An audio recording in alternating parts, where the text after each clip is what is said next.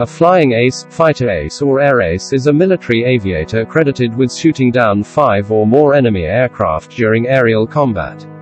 The exact number of aerial victories required to officially qualify as an ace is varied, but is usually considered to be five or more.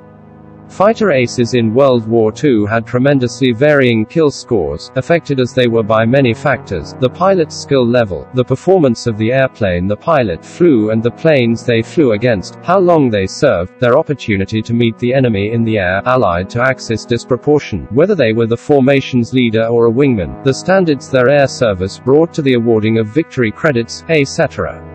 It is not clear what impact each nation's rules for score crediting have on the counts listed below. Germans credited a shared victory to only one pilot, while the French credited full victory to all participants. British, Finnish and US Air Forces credited fractional shares of aerial victories, resulting in fractions, such as 11 and a half, which might be for example 10 aircraft and 3 shares with the second pilot. Some US commands also credited aircraft destroyed on the ground. The Soviets counted only solo kills, while group kills were counted separately, as did the Japanese. The Italian Air Force did not officially credit victories to individual pilots, but to their unit as a whole.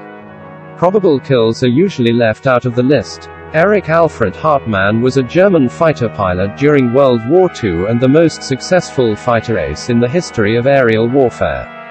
He was credited with shooting down a total of 352 Allied aircraft.